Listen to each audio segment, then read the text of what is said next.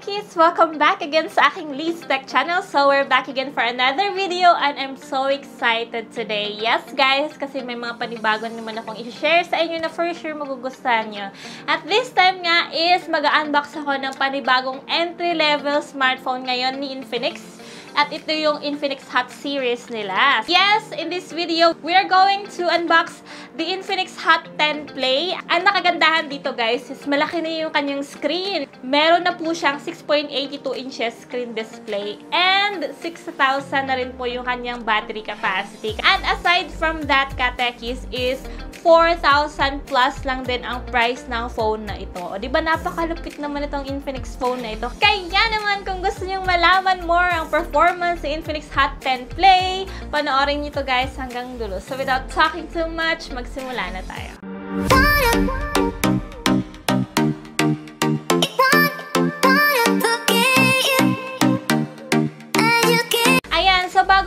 Tayo magsimula is meron ako i-share sa mga work from home dyan, sa mga nag-study from home, and sa mga gusto ding magnegosyo from home, guys. This is it. Meron ako share sa inyo panibagong printer ng brother na for sure magugustuhan niya. And this is the brother ink tank printer na DCP T420W. So why you should consider buying this?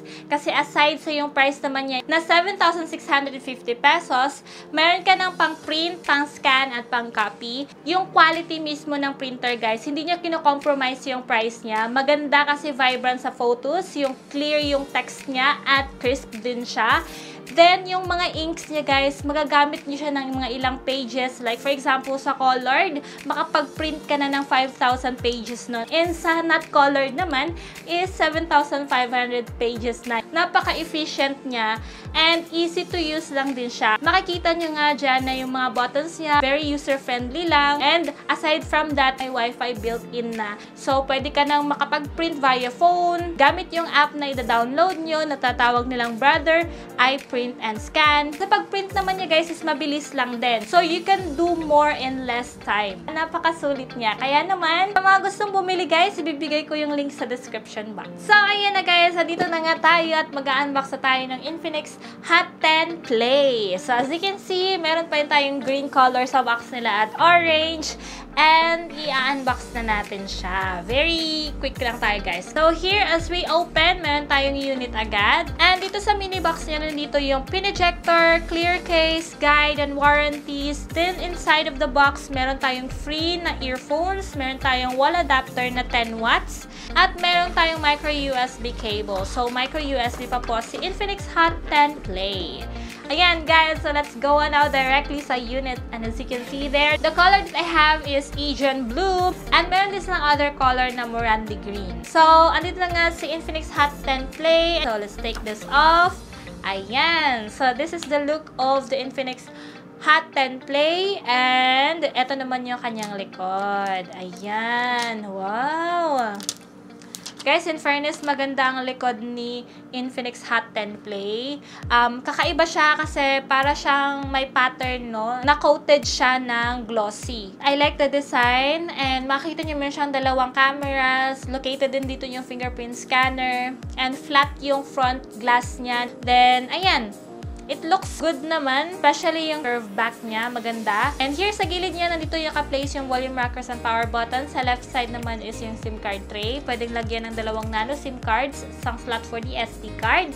And sa lower part is yung 3.5mm audio jack, micro USB port. So let's go on na sa display, guys. Ayan, makikita nyo dyan, ito na po yung screen ni Infinix Hot 10 Play. And yung screen niya, guys, medyo malaki na talaga siya. Meron siyang 6.82 inches na rin kasi. But yung quality, HD Plus pa lang po, 720 by 1640. Ayan, IPS yung screen display. But in fairness naman, kahit HD Plus, maganda rin naman yung display niya. So, vibrant din naman and pa-drawer na rin siya. Android 10, of course, XOS 7. And may, may chin pa siya guys. So yung screen niya is very smooth touch naman. And kung makikita nyo, maganda kasi may screencast, may game mode na rin siya. And may eye care. So ngayon guys, puntahan natin yung specification niya. Itong si Infinix Hot 10 Play is powered na po siya ng MediaTek Helio G25 na chipset, octa-core processor of course. Meron na po siyang 2GB of RAM and 32GB of internal storage. Although hindi masyadong kalakihan no, yung kanyang storage, pero considering naman its price, 'di ba, na affordable lang din. So para sa akin okay na rin 'yon. Although pwede mo na rin naman siyang i-extend yung kanyang external storage up to 512 via micro SD card. Kinaganda dito, as what I've said a while ago, is aside sa malaki na yung screen, malaki din yung kanyang battery. Meron siyang 6,000 mAh battery capacity. Para sa akin, good deal na rin yon sa isang 4,000 plus na phone na may 6,000 na battery at saka malaking screen. At maganda pa yung design. Si Infinix Hot 10 Play po meron po siyang 13 megapixel f1.8 yung main shooter niya sa rear cam. Then, sa front cam naman niya is 8 megapixel. Kung makikita nyo rin sa kanyang features ng camera, maganda naman kasi may slow motion naman siya. Meron siyang AI cam, meron siyang AR shot, and meron din siyang portrait sa front, meron siyang HDR, meron siyang mga filters din guys. First, before we go on sa camera performance, let's go muna sa battery niya guys. So, makikita nyo dyan, tinest namin siya agad-agad sa battery. Chinarge namin siya from 42%, nag-increase siya to 67%. So, imagine 25% lang in-increase sa kanya for 1 hour. But, para sa akin, understandable naman din kasi hindi naman siya nagsusupport ng fast charging. At the same time, sobrang laki din ng capacity ng battery niya. Kaya, it takes time talaga. Now, sa training. So, let's see kung maganda rin ba yung training performance nito. So, tinest namin siya, of course, sa gaming muna, kung mabilis ba siyang kumain ng battery life. There, from 62%, nag-decrease agad siya ng 13% after 1 hour of playing Mobile Legends. So, not bad na rin. Hindi naman sobrang layo yung difference niya dun sa mga ibang smartphones na test ko na ganito yung capacity. But, mas maganda siya guys kung sa social media lang kasi hindi siya masyadong mabilis kumuha ng battery life. Like, as you can see there, tinest namin siya ng 1 hour sa FB, kinuha lang po niya is 7% lang. Para sa akin, maganda na yon na performance sa battery niya. So, na nakita nyo ng battery, sa heating naman tayo. Then, makikita nyo guys, from 33 degrees Celsius, yung in-increase sa kanya after 1 hour of playing is 5 degrees Celsius. So, naging 38. So, at least hindi naman siya umabot ng 40 degrees. Pero guys, may warm feeling akong mafe-feel sa kanya sa likod, lalo na malapit sa camera. Tolerable lang naman. Lalo na kapag gamitan nyo ng case, hindi mo ma-feel yung init. Punta naman natin yung camera performance guys. So, sa camera performance ni Infinix Hot 10 Play, makikita nyo dyan na vibrant yung kuha niya sa front cam, in fairness. And okay din yung kanyang portrait mode. And ayan, malinaw naman siya guys. Although filtered talaga yung kuha ng cam niya. Hindi talaga super natural. So kung bet nyo naman yung mga ganun na hindi na kailangan i-filter, i-edit, go na go na rin naman tong camera niya. So guys, ito yung front video quality niya sa front and HD kasi may ring light tayo and 1080p yung uh, resolution. So, i-try natin guys na walang ring light kung maganda ba. Ayan, yun yung quality na kapag walang ring light support. So, may mga noise background and hindi na siya ganun talaga ka-HD.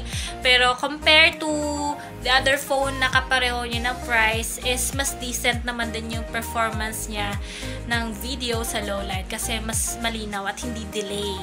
Diba? So, Now, sa rear camera naman niya guys, makikita niyo malinaw naman yung rear cam niya. Decent na rin for social media upload. Sakto lang yung sharp details niya, sakto lang din yung vibrance niya. Pero, mas magiging vibrant pa siya, guys, kapag uh, may sun. Low light shots naman niya, guys, is hindi siya ganun talaga ka super bright. Saktong-sakto lang din yung performance niya. Sa camera niya, mas bet na bet ko yung rear camera performance niya compare sa front kasi sobrang filtered ng front camera performance. And wala po pala siyang video stabilization. So, kapag mag-video ka, careful na lang din para hindi shaky. Ayan, guys, nakita niyo na yung front camera performance at rear camera performance ni Infinix Hot Hot 10 Play. Let's go on naman sa gaming performance ito. In fairness, sa halaga niyong 4,000 plus guys, kaya niyo high frame rate sa Mobile Yes, and high graphic na rin siya. Nakakagulat ito eh. And playable. And of course, maganda naman yung graphic quality niya. Although hindi nga ganun ka-realistic. Pero guys, maganda. Vibrant and punchy naman yung kuha. Pero wag natin ma-expect ng too much talaga na katulad ng mga high-end na phones. Hindi na siya bad sa kanyang price, ang kanyang quality in fairness naman. And ayan, mag enjoy ka nga kasi big screen din naman siya. And ayan guys, yung fingerprint scanner, iti-test natin kung mabilis ba siyang mag-response. So here, naka-off yung screen. Try natin i-turn on with our, yan, nabilis lang guys. Responsive yung kanyang ano. Yan. Ayan, so mabilis lang po yung fingerprint scanner niya. Paglapat ng finger, turn on agad siya. So, ganun siya kabilis, responsive naman. So, ayan na guys, natapos na natin tenest si Infinix Hot 10 Play. For me, sa halaga niyang 4,290, sulit baka mo siya. Para sa akin, kung pag-uusapan natin yung performance sa gaming, yung battery performance niya, yung camera niya, yung screen, yung design, para sa akin guys, napakasulit na nun sa halaga niyang 4,290. So, yung disadvantage nga lang po niya is micro USB pa po siya. So, di ba mas uso na ngayon yung USB Type-C, mas mabilis mag-transfer ng file, at flexible pa kahit saan mo saksak. Maganda kasi USB Type-C na. And aside from that, ang charging lang niya. Napansin ko lang hindi siya ganoon kabilisan talaga mag-charge. So, kung okay na naman sa inyo mag-antay ng mga 2 to 3 hours sa kanya is why not? Coconut, diba? At least, alam niyo na yung mga hindi ko nagustuhan sa kanya. Yung front cam niya malinaw naman, pero yun na nga, filtered masyado. So, hindi ako masyadong na-impress sa front cam. Pero malinaw siya, guys, in fairness. Iba-iba tayo ng preference. So, kung bet niyo pa rin yung performance sa camera, then go! Laban na! Pwedeng-pwede na to, guys. Comment niyo below kung ano yung nagustuhan niyo kay Infinix Hot 10 Play. And, ayun! Salamat, guys, sa panonood na aking video. I hope that you guys will like this video. Share this video to your friends, subscribe to my YouTube channel, and click the bell button. And see you again guys sa my next video. Ingat kayo lagi, and bye! Mwah!